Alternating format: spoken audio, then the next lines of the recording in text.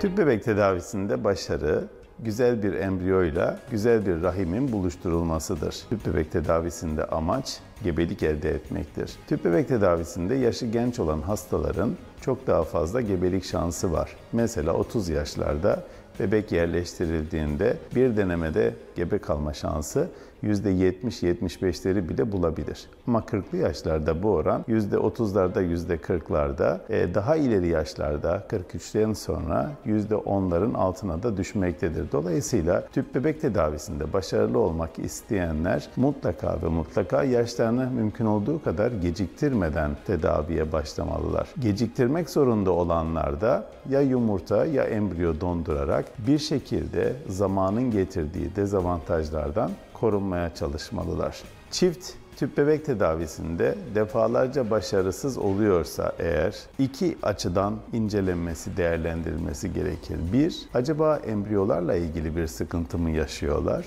Acaba ikincisi de rahimin bebeği tutmasıyla ilgili bir problem mi var gözden kaçan?